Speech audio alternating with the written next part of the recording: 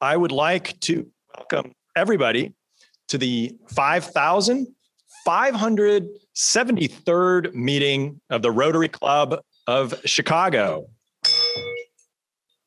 Rotary One is now in session in person.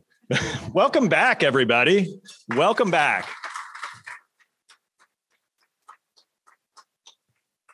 And I'm uh, honored today to be able to start our program with the thought of the day uh, with our very own Bob Westrup. Bob, please come up to the podium. Thank you. Thank you, Eric. And uh, good morning, everyone. It's great to be here. Uh, how many of you are bikers? Go out and enjoy the bike. Wow, it's a big group. And I bet you out there on Zoom, there's a big group there. I usually don't wear a prop like this if you can see me, but I have a sling on. So six weeks ago exactly, I was going out for my morning bike ride. It was a cold morning. It was May 11th. I put on an extra layer of clothes, including a little ski hat, and started out down the road towards the forest preserve. And then thought to myself, you don't have your helmet on. So I went back and I put my helmet on. Uh, then rode about a mile and a half to the forest preserve into a place that I consider a really safe place. About a mile later, as I was speeding up, I went airborne, landed on my back in pain, trying to figure out and assess what just happened to me. Okay. There was nobody around. It was cold. I found my cell phone across the path. I tried to call my wife. She's not up that early. I called 911. I thought I didn't have any other choice, and I didn't know how bad I was. So I called 911 and in talking to the woman, I had to figure out how to guide her to me. I wasn't on a road, there wasn't a mile marker, there wasn't a street sign or a cross sign. Fortunately, she got the park ranger to come to find me, get me to the EMS where they took off most of my clothes and cut off a number of them. I could tell by the look on the EMS guy I was in trouble. Uh, and I found out later when I got to the hospital uh, Lake Forest Northwestern that I'd broken two ribs, punctured a lung, and broke my clavicle. So this was major league. Um, I left the hospital four days later, but before I did it, one of the doctors came by and he said, You know, we've done a bunch of CAT scans on you, but we haven't done one of your head. Did you hit your head? I said, Well, my knees all got a big gash in it. I broke the ribs. I broke my shoulder bone, but no, I don't remember ever hitting my head. He said, Well, let's do a CAT scan. So they did the scan. They found out there was nothing wrong or anything up there.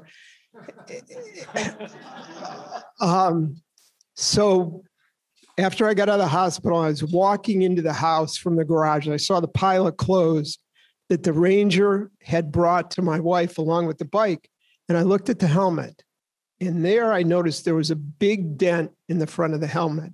Okay. So my thought for the day is when you're out there having fun on your bike during the summer, please um, take responsibility for a little bit of risk management. Wear your helmet so you can live like I did to tell this story.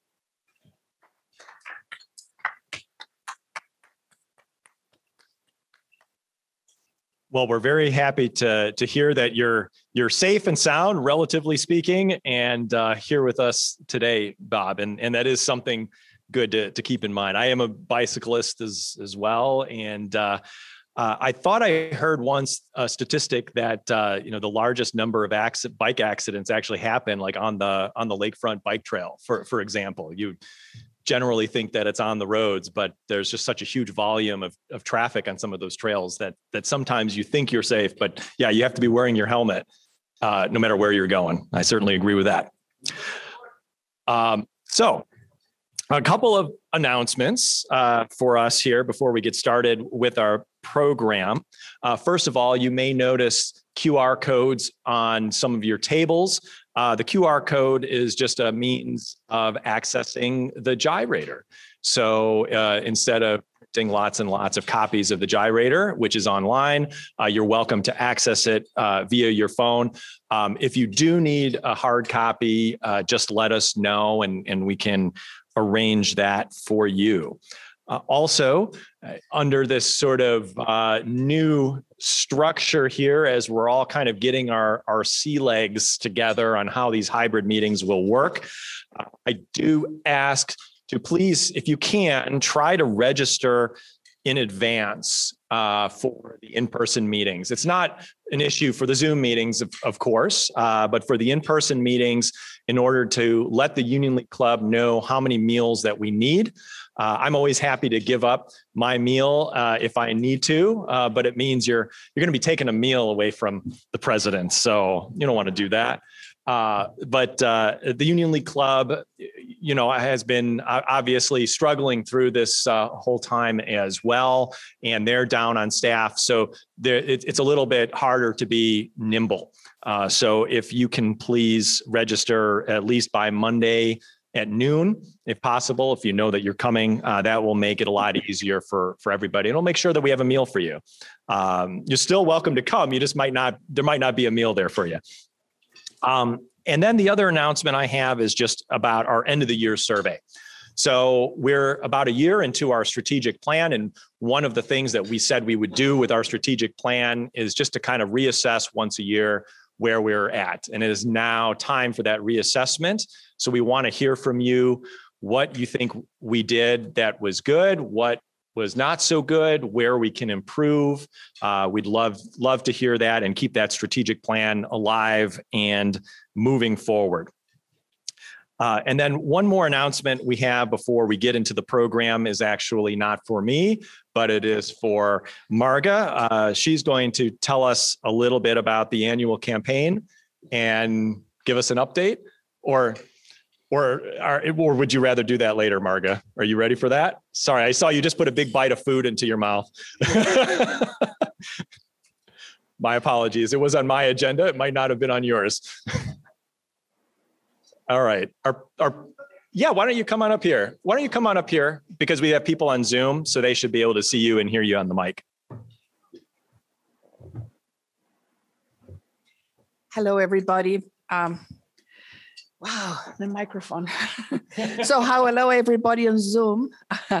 um, well, the good news that I have to share, which we shared last week, is that we've reached the goal for what we wanted to raise for the Rotary Foundation, and we need a few more dollars to reach the goal for the Rotary One Foundation. And those of you who have contributed, I want to say thank you so much and I'm glad that you put up with me, but I am not done. so uh, you have time. If you're on Zoom and you're listening to me, you know what you need to do. All right. Uh, it would be such a treat to reach the goals for both foundations. And I know we can do it. All right. Uh, as I said in a previous meeting, the foundations provide us the fuel for what we want to do. And this year has been truly spectacular in the number of projects we have been involved in spite of all the limitations of the pandemic. So be a part of it from $5 to the sky is the limit. So I'm counting on you, on everybody. Thank you.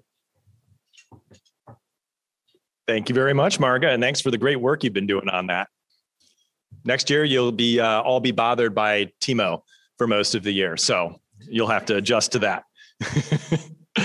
uh, so as we get started into our program, uh, just a reminder for folks, again, we're going to have questions now. We're going to be fielding questions from two different places. Uh, if you are on Zoom, please type your question into the chat box and I will uh, uh, read those questions aloud. And uh, if you are here in the room, uh, you'll just raise your hand and uh, we'll pass around a microphone and you can actually just state those those questions. And so we'll probably do in-room questions first and then go to Zoom questions. Uh, and so to introduce our speaker today, I am going to pass the stage over to our program's co-chair and senior VP with uh, UBS, Mr. David Hirsch.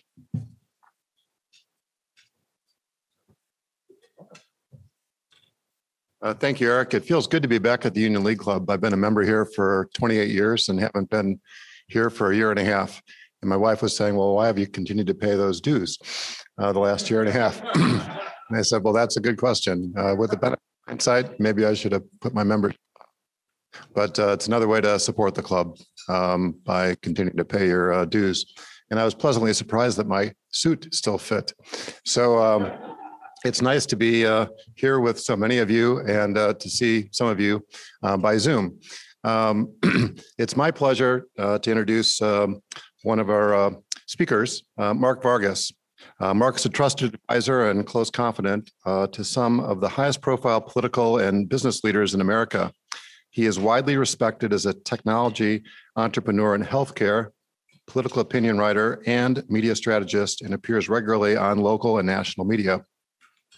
Mark is a Chicago area native. He earned his bachelor's arts degree from Judson University.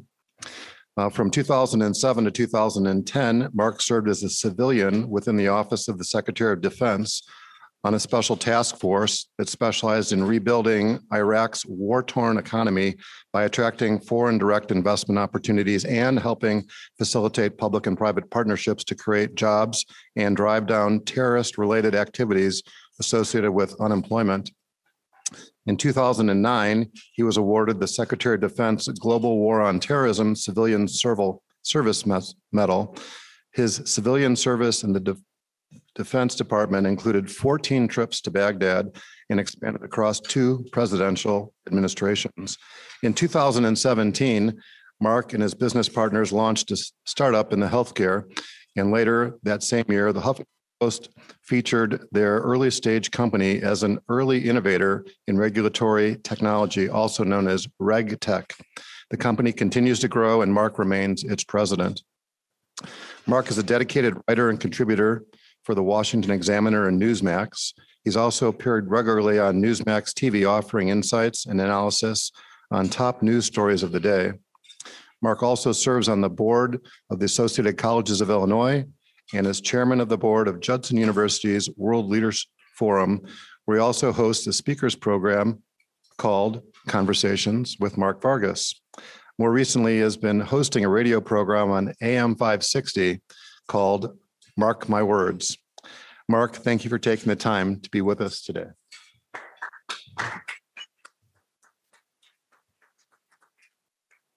Thank, thank you for that very kind introduction, David. I should have sent you a shorter one, actually. Sorry for making that so long. And hello to those that are watching on Zoom. Uh, and for the record, I am wearing pants. I'm not wearing shorts. I was giving a, a, a national TV interview and they needed to adjust my lighting. And so they said, Mark, real quick, can you adjust the lighting? And I was dressed in a suit, but then I was wearing swim trunks, you know, and, and so uh, I made sure that when they did the when, when they did the zoom there that they made sure that they didn't catch that I was wearing swim trunks because they wanted that longer, longer view.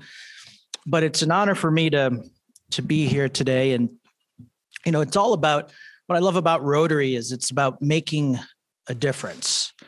It doesn't matter what your politics are, doesn't matter where your zip code is.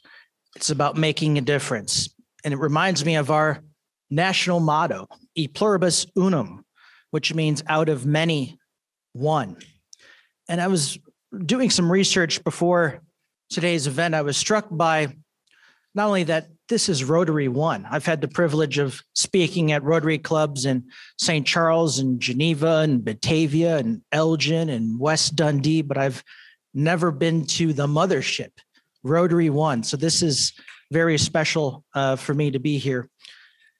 And as I was doing a little bit of research, I was struck by it was the Rotary Club that helped during the 1918 pandemic. And it was the Rotary Club that helped during the 2020 pandemic. And so I want to acknowledge all of you Rotarians, not just here at Rotary One, but across the globe for all of for the impact that you all made in terms of delivering PPE. I was just talking to Eric, you delivered over 3,000 meals to first responders and to elderly residents. You donated iPads to elderly residents at nursing homes so that they could FaceTime with loved ones and family members. And this is just not a feather in your cap here at Rotary One, but across the globe. And so I wanted to thank you and salute you for all of your work during this pandemic, not just in 2020, but in 1918. So thank you very much.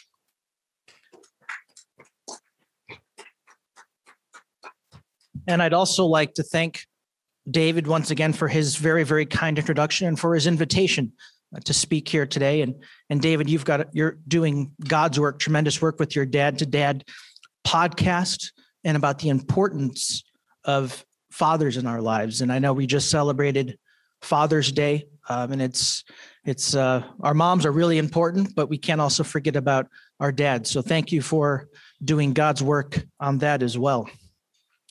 You know, September 11th, 2001 was really my lightning bolt moment. I was a student at Judson University in Elgin. I was a sophomore, and my mom called my dorm room and woke me up and said, Turn on the television. So I stumbled out of bed and walked into the main common area in time to see the second plane fly into the World Trade Towers.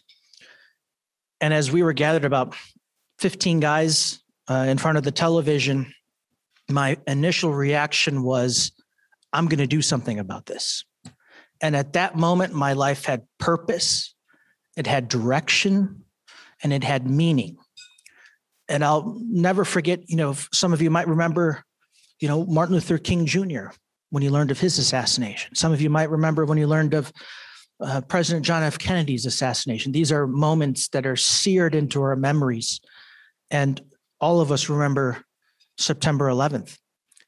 And I'll never forget walking into the chapel and how quiet it was outside. And we'll all remember the blue skies and not a single aircraft being so close to Chicago. We always have O'Hare traffic, not a single aircraft in the sky.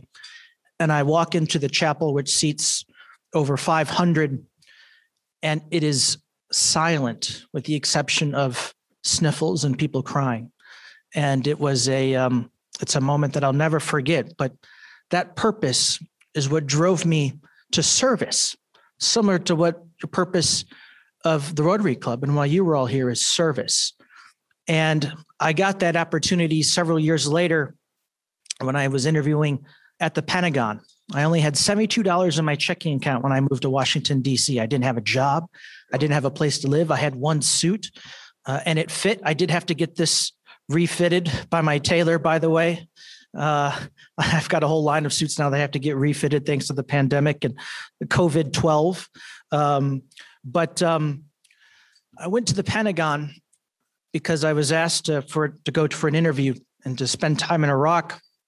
And I was intimidated because there were all of these flags and all of these seals of the different branches of the military, and it's the Pentagon. It's a very intimidating place to be. And there were Marine colonels and and SESs and senior leaders in this interview, and they said, We're going to ask you one question, one very important question. You know where you're going, which is Iraq.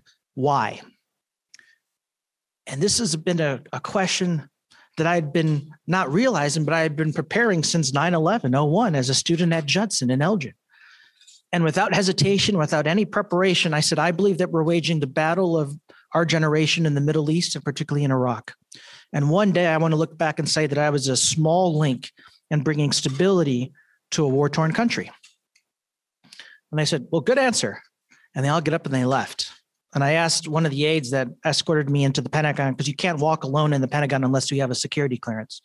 So I asked one of the aides that escorted me into the building and into the meeting, what happened? She's like, I don't know. Well, 24 hours later, I had an email from the White House personnel office uh, for me to fill out my SF 86, my security clearance form.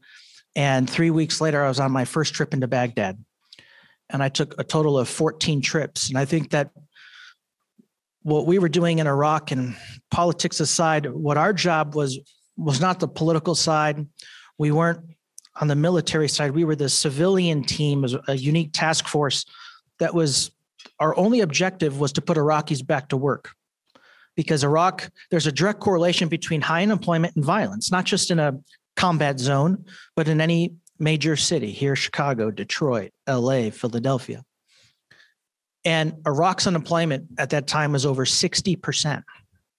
And so you had educated men that were running around with AK 47s because the insurgents were paying cash to shoot anyone with an American flag patch on their shoulder. And so our job was critical. It was important because we believed and we knew that the faster we did our job of putting local Iraqis back to work, the faster they'd stop shooting and killing our service members. And so We brought in teams and we did an analysis and we identified about 60 factories throughout Iraq, Northeast, South, and West.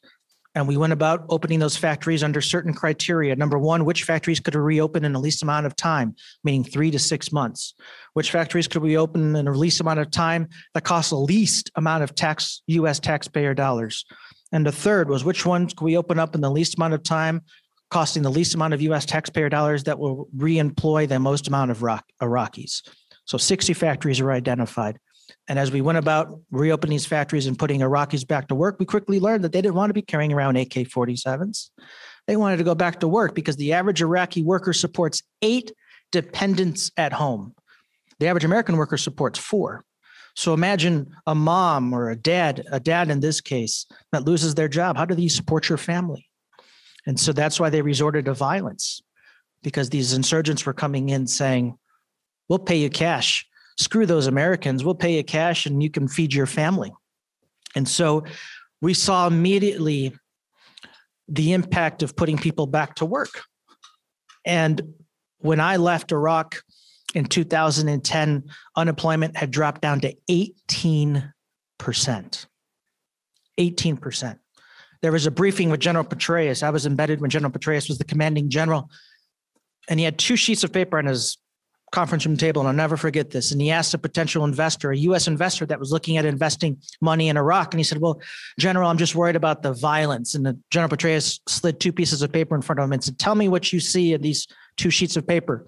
He looked at one. And he said, "Well, looks like violence is on the rise.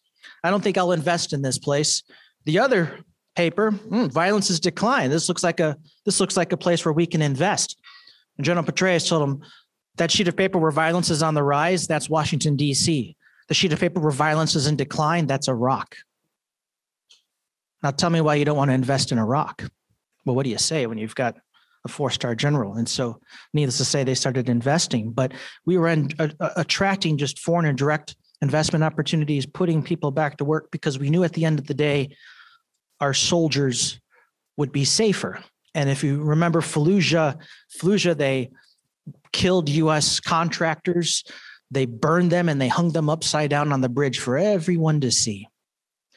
And when the Marines were there, it was just an ugly, ugly place to be. After putting people back to work, we were with Marines back in Fallujah and they said, Holy cow, we could walk around, we could shop, we can buy gifts for our families in the local markets.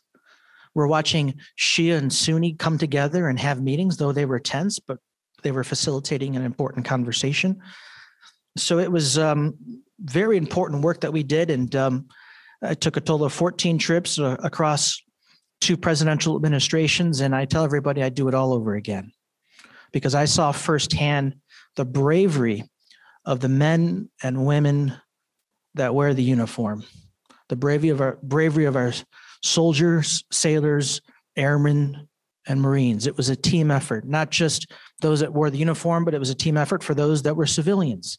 It was a team effort for those that were contractors as well. And civilians like me, we couldn't carry guns. The Defense Department doesn't allow civilians to carry weapons. So here we are in a combat zone without a gun.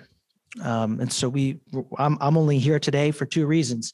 I was protected by the greatest military on the history of the planet, and Iraqis and Iranians have bad aim. That's the only reason why I'm still here today. And I'm grateful that they have bad aim. Fast forward Eric, how much time do I have? I want to make sure that uh, uh, now that I've got a talk radio show, I can talk for three hours, and I've got about eight minutes. There, see, there we go, eight minutes, perfect. Boy, that's that's not a lot. But uh, the other thing about service, and I talk about, we talked about this at the very beginning, is service, and I still, I'm still not done serving my country or my community, and I still don't know what that's going to look like. But I had a chance to work with the White House and the Trump administration on criminal justice reform. And that became a topic that I never thought I'd be passionate about. But after doing research, it became something that I wanted to make a difference. I started to write national op eds. I'm a columnist for Newsmax and for Washington Examiner. And my op eds started to generate the attention of the White House and Jared Kushner. And I started to work with Jared in a very small capacity behind the scenes. I was working with Van Jones and his organization, Cut 50, and Kim Kardashian on criminal justice reform. And it turned out to be something for me to not only just try and serve our community, but serve our country and help reverse some of these policies that were detrimental to, and I'm part Mexican, to the black and brown communities. And together, together, Republicans, Democrats, independents, we reformed a broken and racist criminal justice system. And it's just the first step. We got many more steps to go, but it was historic. And it showed that Washington can come together. And this was a perfect example. Let me tell you a couple quick things that I love about the First Step Act and why it's so important and why I, I urge, and I'm working a little bit with the Biden administration, why I'm urging the Biden administration to take up their version of the Second Act. America incarcerates more people than any other country in the world. Did you know that? More than Iran, more than Venezuela, more than China, more than Russia, more than North Korea. We also spend $40 billion a year, over $40 billion a year to keep inmates in prison. Compassionate release before the First Step Act, 96% of inmates and their families who were given a, a, a health diagnosis where they had very little time left. Stage four diagnosis, they had weeks or months left to live. The Bureau of Prisons was denying 96% of compassionate release requests. Women, women in America, in American jails, were chained and handcuffed to the hospital bed when they'd give birth in prison. The First Step Act said we're going to reverse this trend. Now, I'm not speaking about violent inmates. I'm speaking about these non-violent, oftentimes first-time offenders or drug offenders. The fact that you've got people in prison 20, 30 year sentences on a mar- mar- marijuana charges. You've got examples of a gentleman who needed money for his family, and so he sold five prescription pills. He's now serving 24 years in prison because he was painted to be a international drug kingpin. First Step said, we got to send these people home. We got to give them a, a second chance because they've never had a first chance at a second chance. We've got to give them a second chance. So the pressure now is on the Bureau of Prisons to reverse compassionate release so that more people are going home. So they, instead of dying handcuffed and behind bars, they die in the arms of loved ones. That's very important. Women are no longer handcuffed and chained to a hospital bed when they give birth, thanks to the First Step Act. And so it was God's work, and we've got lots of more, lots more work to do. I'm working with families today on this pro bono, working to get, to see if we can secure their loved ones' release.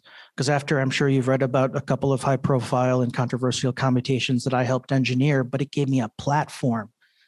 Because now when I ask for something and we need to look at this case, people look at it if I didn't have that platform before, no one would pay any attention. But now I've got that platform thanks to the Wall Street Journal that did a big front page story on me. I now have a platform. And so I'm using that platform to work with those families, not just here in Chicago, but across the country who want to see their loved, home, loved ones come home because prison should be reserved for those, not that we're mad at, but for those that we're afraid of. And oftentimes we have a, our prisons are filled with people that we're mad at, and we need to send them back home. But one other point before we transition in terms of service, and something that I'm honored to be a part of, is Judson University's World Leaders Forum, continuing this service, serving our community, serving our country, serving the world. And that's Judson University's World Leaders Forum, and I'm honored to serve as the chairman of the board. And that whole objective, that whole objective is to raise money to bring in world leaders to this small 1,200 person Christian university that no one's ever heard of. And we bring in our first year, just like in 1905, when a couple of folks got together and created the Rotary Club. In 2010, a couple of people got together, including myself, and let's create the World Leaders Forum. And one of the alumni uh, worked very hard and, and, and quarterbacked that effort. But the whole objective is to raise money for student scholarships, entrepreneurship, diversity, and for foster children. The statistics of those that are in foster care that graduate from college are very small. So we had those three objectives about raising money for these students. And so we went out and asked all these world leaders if they'd come out to Judson. our first year, we had former President George W. Bush to this small, no-name, 1,200 person Christian campus in Elgin. We had former British Prime Minister Tony Blair. We had former Mexican President Felipe Calderon. We had Condoleezza Rice. We had former Russian Soviet Union leader Mikhail Gorbachev. We had a substantive debate with Newt Gingrich and Howard Dean, two gentlemen that are on political opposites. And we've raised nearly a million dollars for student scholarships. And we've created a second and third series. We've created an inspiration series. We've had Mary Lou Retton, the Olympian. We've had um, Nick Voinovich. I think I'm butchering his last name, but he was born without arms or legs. I wasn't able to make that event, but you know, part of the question, and the Judson's president said, "How do you greet a guy that doesn't have arms or legs?" Well, when you walk up to him, he says, "Can you give me a hug?" That's how he greets. That's how he shakes hands. And everyone that got a hug from Nick said it was the best, it was the most loving, tender, powerful hug that they've ever received in their entire life. So we have the inspiration series. And third, we have conversations with Mark Vargas. So if you're not already bored now, you're really going to be bored. And my first guest was Mark Cuban, and Mark's a very close friend of mine. And I asked him if he'd launch my speaker series, and he did. And my speaker series raises money not just for student scholarships and entrepreneurship and diversity, but it also raises money for Judson University's RISE program. And RISE is a program that's very unique. It's very unique because only 5% of colleges and universities in the United States offer a program for students with intellectual disabilities. And most of these students have Down syndrome. If you're a parent, and David knows all about this, and he's my mother is the director of the RISE program at Judson and David's been very active on this, both behind the scenes and and out front. Is if you're a parent with a child with Down syndrome, you don't save money for that child to go to college. So every year, those children are waving to their their brothers or sisters, waving goodbye and helping them pack to go to college, but there's nothing for them. So Judson is unique, really unique that they offer a program, a two-year certification. They live on campus, they live in the dorms, and they become the most popular kids on campus. And it's incredible to see football players and basketball players and soccer players hugging and loving on these students. They've become the lifeline of the campus. And I get emotional talking about it because it's it's wonderful to see. And I told Judson's president, you know, I told him if Christ were here on earth, he wouldn't be hanging out with us in fancy suits or in the administration building. He wouldn't be hanging out with professors talking about theology. He wouldn't be with in the fitness center working out with the athletes he'd be with the RISE students. And that's where we need to be too. And so uh, my speaker series raises money for the RISE students. And so on July 9th, I've got Terrence Howard, Hollywood actor Terrence Howard, coming out to help raise money for our for the scholarships and for RISE students. And so I'd encourage you to go to uh, judsonu.edu backslash WLF to learn about the World Leaders Forum or judsonu.edu backslash WLF conversations uh, July 9th. I'd love to see everybody there. Tickets are 75 for general admission, 500 for VIP meet and greet. It's also going to include a dinner with Terrence and I, and you'll get to meet the students because they're there. You get to see your investment in real time. And it's going to be a really important event. And I know I've gone two minutes over, and so I apologize for that. But um, again, thank you for the work that you're doing. And it was an honor and a privilege uh, to be here today, and I hope to see you all again very soon. Thank you.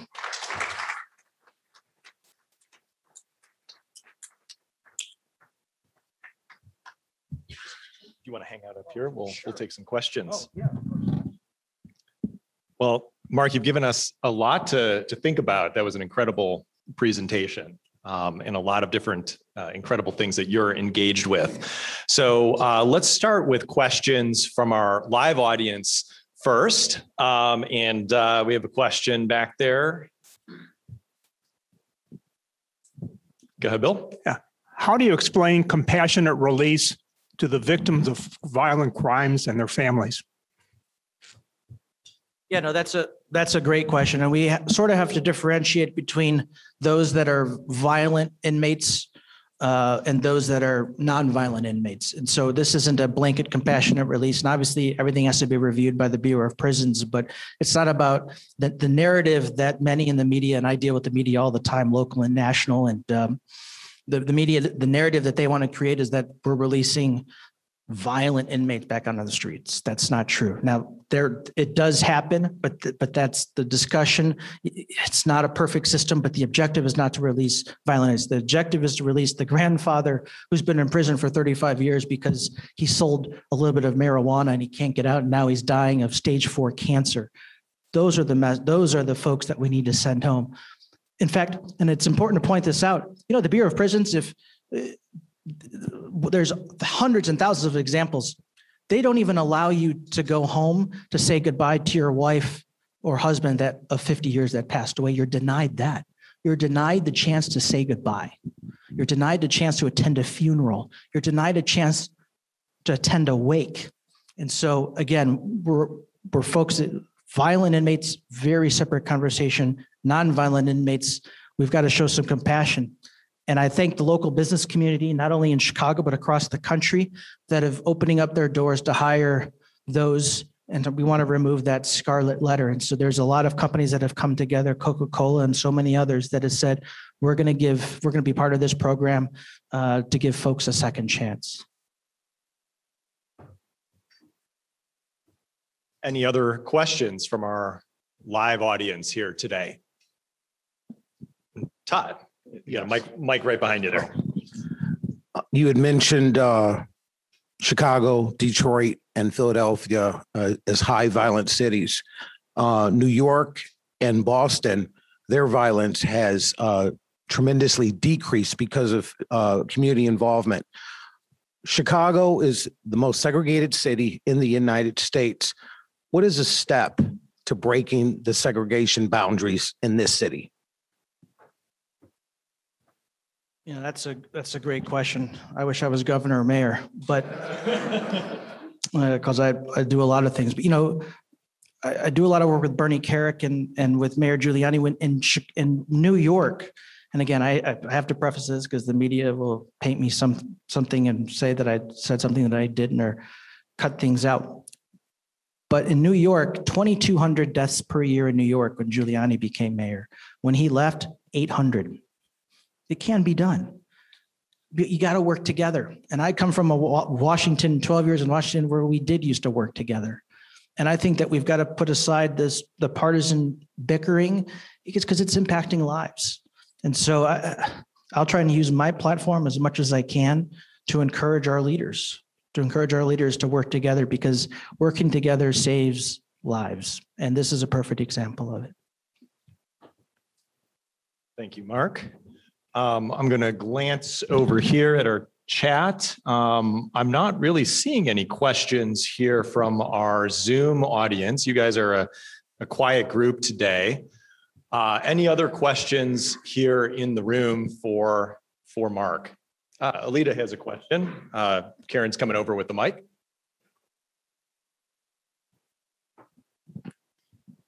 So with your criminal justice reform, what steps are you taking to not get black and brown people in jail?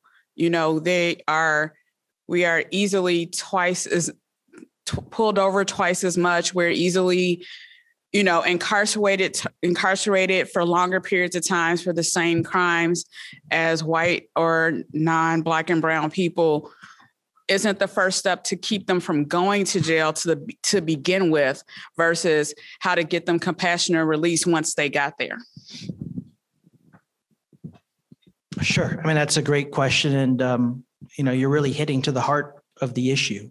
And compassion comes in so many different shapes and forms. And I think that um, there's no doubt that Black and Brown communities are treated very differently. And we see that in prison when you look at the same the same crime the difference in sentences is dramatic dramatic decades differences and and we've got to fix that but i think that using i'm not saying i have all the answers but using my time rock giving people educational opportunities getting people trade schools. You don't have to go to college. You don't have to have a college degree. I mean, if you looked at my college transcripts, you would think that I'd, uh, you know, I was a, C, a happy C student. Um, but I think we need to provide opportunities and show that you're you're valued, right? And um, and providing this type of support and care to the community. There's life besides crime. That you don't have to. A lot of them are working because that's the only way they make money. You don't have to go live a life of crime to make money and support your loved ones. There's other opportunities, and we don't necessarily have to say it's college because it's not college. It could be a trade school. It could be other things. One of the most interesting things. One of my favorite books is called Lincoln's Melancholy. And we all know that Abraham Lincoln suffered from depression throughout many periods of his life, and he would write often at times that he was suicidal.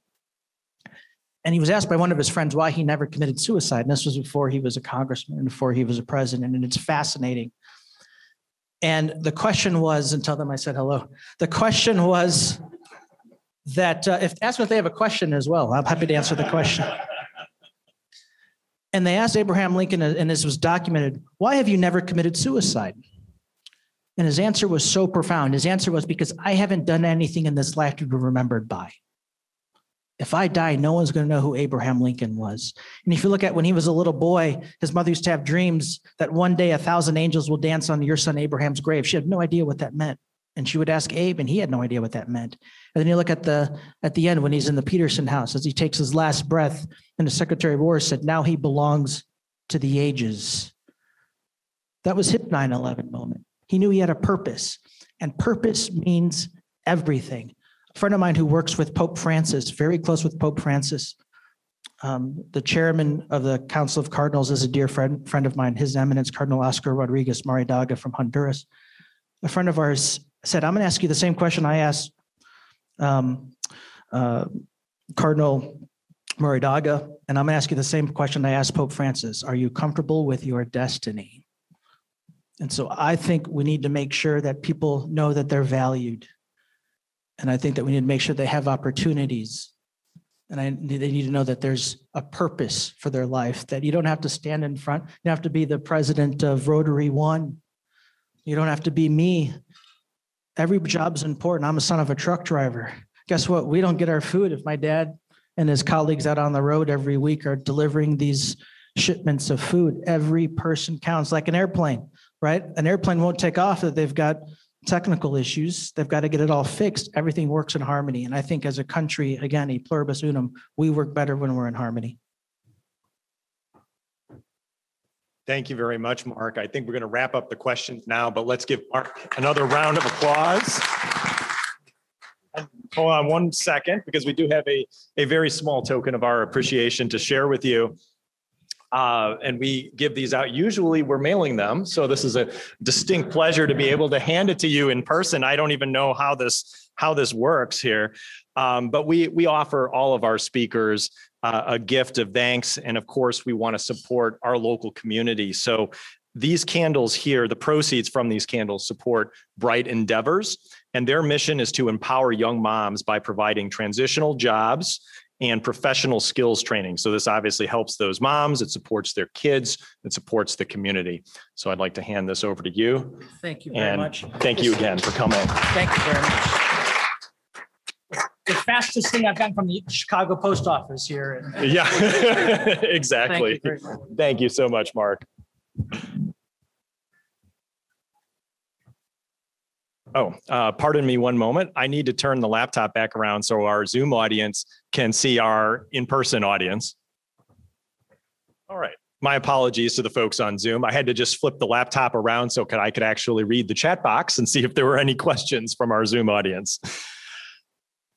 So uh, I want to uh, thank our our Rotarians for the the great work that you've all done during the year, despite the pandemic, uh, doing things, continuing our programs like as as Mark was talking about our our job program, our job skills training program, Job One, many other efforts. Um, and I think uh, a direct result of that is the number of new members that we continue to see come into the club uh, despite the pandemic. So we do actually have a new member induction today. So uh, Freddie, if you could come up to the stage, please. Um, I have a long spiel here to read off, so you can just stand here to my left and bear with me a moment while I do this. Laura Inns, our membership chair, is uh, out of town today, so she was not able to do this. So this is actually the first time that I've done this myself, so I'm, I may mess it up, but uh, you'll still be a member of Rotary One, so don't worry. thank you. It is my great pleasure on behalf of the board of directors and members of the Rotary Club of Chicago to welcome you as a member of Rotary One.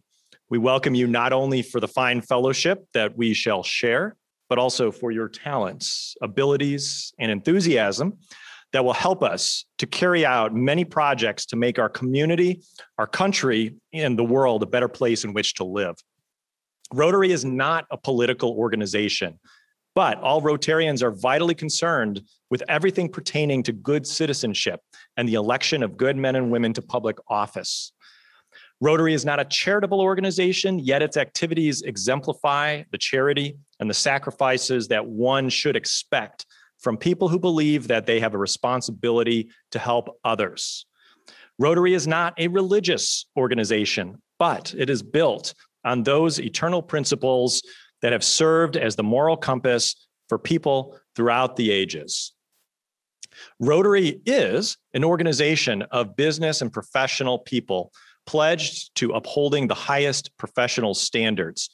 Rotarians believe that worldwide fellowship and international peace can be achieved when business people unite under the banner of service. Freddie, you've been chosen for membership in the Rotary Club of Chicago because your fellow Rotarians believe you to be a leader in your profession and because you manifest the intelligence and commitment of heart that fit you to interpret and impart the message of Rotary. You are a representative of your profession in this club, and any information of an educational value pertaining to that profession must naturally come to us through you. At the same time, you become an ambassador from us to your profession, and we rely on you to carry the principles and ideals of service, which we here inspire to those who share your professional activity. The community will know and judge Rotary by your embodiment of it in character and service. And we accept you as a member because we know our principles and organization will be safe in your keeping. We also expect you to give us the inspiration that will help us to become better Rotarians. And it is with this hope that I, as president of the Rotary Club of Chicago, invest you with the distinguishing pin of a Rotarian and gladly offer you the right hand of Rotary Fellowship. Uh, is there a good place I can pin this on you? Yeah. Um, yeah, I don't want, you've got a really nice shirt. So I can also just hand you the pin. and extend my hand. Thank you. Thank you so much, Freddie. well, don't go too far. Um, I'm going to ask you to do your, your first assignment as a Rotarian, which is to tell us a minute or two uh, about yourself, Sure. what draw you, what drew you to, to Rotary, and uh, what you do as a profession. Ah, thank you. Sure. Well, first of all, I want to thank you guys for having me today and great presentation today. Um, one thing that brought me to Rotary is I have a mentor. I'm from Greenville, Alabama, small town, and uh, you probably heard about the storms going on down in Alabama recently. I played football at Georgia Tech. Uh, I came to Chicago 15 years ago. I came here from uh, Newport Beach, California. I was driving back to Alabama and I stopped to visit a buddy here in Chicago in the summertime, and I never made it home. Uh, so that's how I got to Chicago. Um, but I would like to say, uh, you know, I opened my State Farm agency uh, September tw- 2018. And uh, me being a small town kid, uh, the community was what raised me. You know, I say it take a village to raise a kid, and that's who raised me. My mom was a single mom, and all I did was play sports year round, football and basketball. And uh, my mentor, uh, I reached out to him in Alabama. I told him, hey, I'm ready to start giving back to Chicago. I want to do my civic part. And he said, you need to join Rotary. And uh, he's the president of Rotary down in Montgomery, Alabama. And uh, that's how I ended up with a great group of guys you are right now. Uh, looking forward to doing my part. Um, already making some great connections. And I do want to thank you all for having me. So thank you.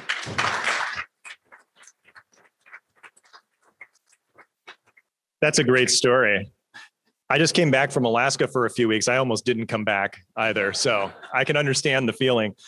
Um, and did I read correctly in your bio that you're also uh, an alumnus of uh, Kappa Alpha Psi? Is that right? Yeah, we we actually have another member who's very active in the local alumni chapter of Cap, Kappa Alpha Psi, Wayman Anderson. So yeah, I'll I'll connect the two of you. I, I, think he's actually on the Zoom portion of the meeting right now, which I can't which I can't see. So I'm sure he is like widely waving right now, saying, "I'm here, I'm here."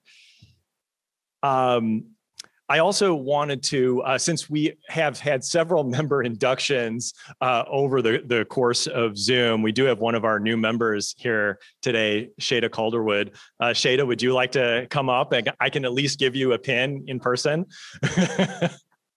Why don't we give a round of applause for Shada as well?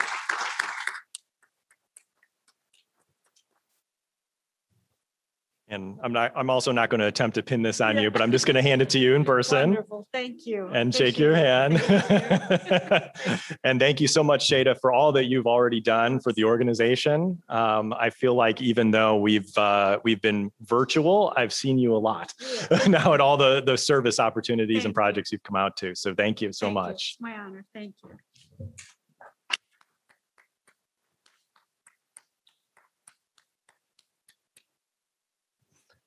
Okay, so uh, I'm going to see how we're doing on time here. Oh, wow, it is 119. So we do have a series of announcements here today. Uh, I am going to skip over introductions of guests at the moment. If you're, I know I see a few guests out here today. Um, if you want to hang around after the end of the meeting, I'd be happy to come by and shake your hand. If you're Rotarian, certainly we can exchange a, a banner as well. And my apologies to the folks on Zoom, but I do want to make sure uh, to get through all of our announcements. Um, so I'm going to skip right over to our volunteer opportunities uh, since we have uh, a brand new member in the room who's looking to get engaged. I'm going to give you several opportunities right off the bat here.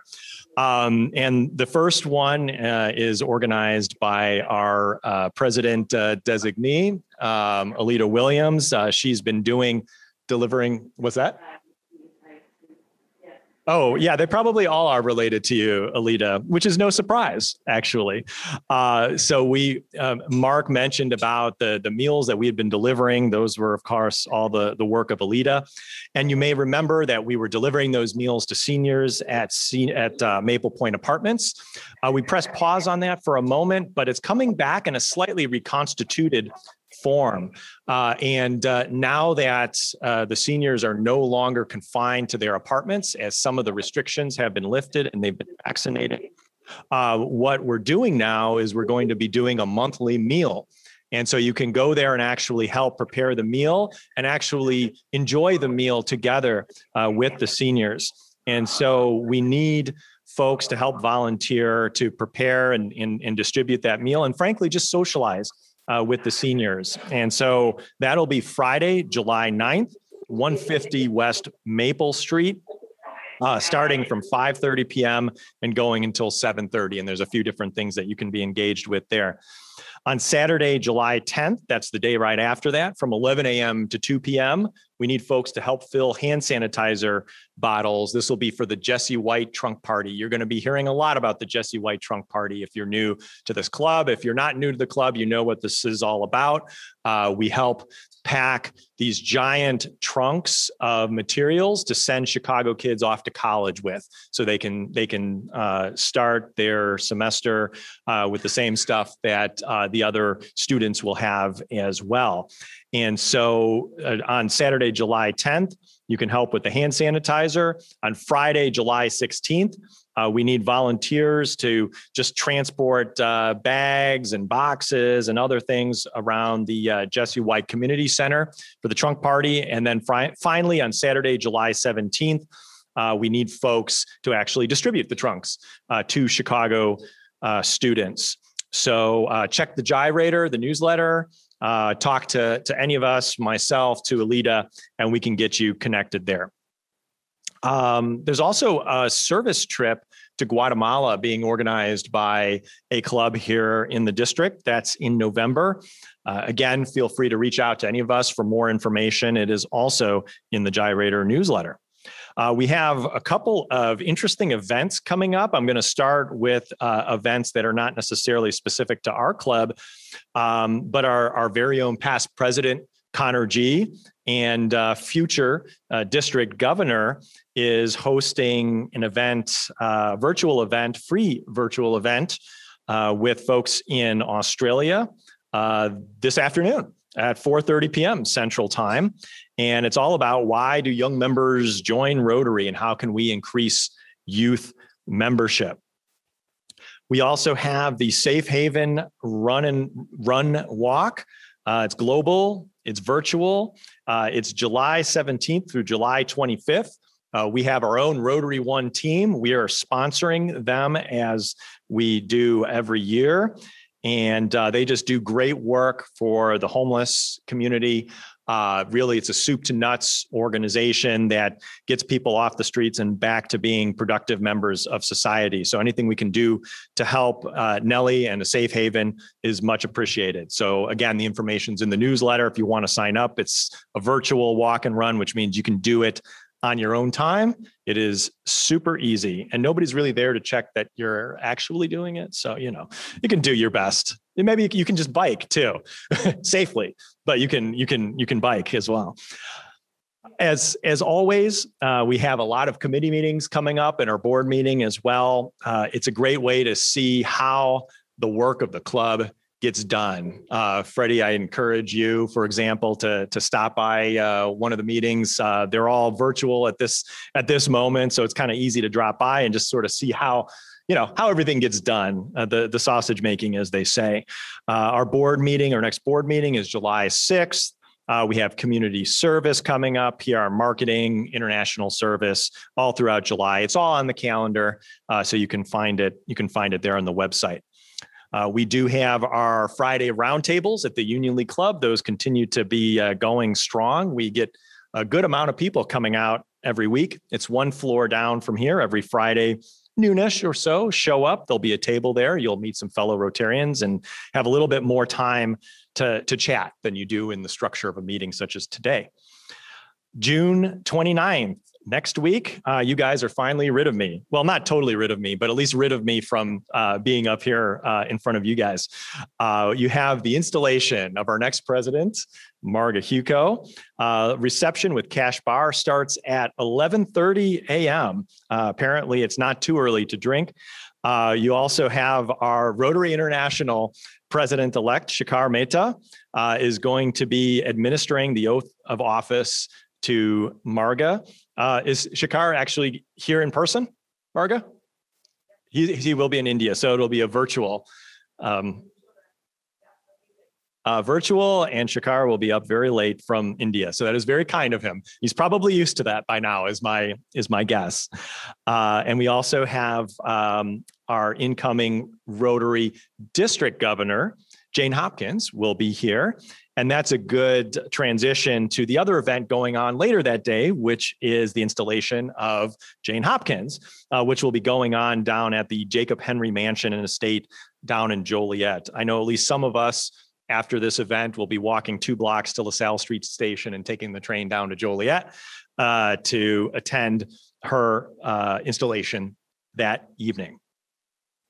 We have July 6th, our next Rotary one meeting is Rotary After Work with Desmond Clark, former Chicago Bear, uh, also keynote speaker and author. And then July 13th, we have legendary chef and author Ina Pinkney. And so, uh, with that, um, we do we have the uh, the four way test, and if we put that up, very good. And so, I almost don't even know how to do this anymore. But since we all are, or at least some of us are here in the room together, maybe we can all just stand and actually read the four-way test together. Is that is that possible? Okay, well, let's start out, shall we? First, is it the truth? Second, is it fair to all concerned? Third, will it build goodwill and better friendship? Fourth, will be beneficial to all concerned. Meeting adjourned.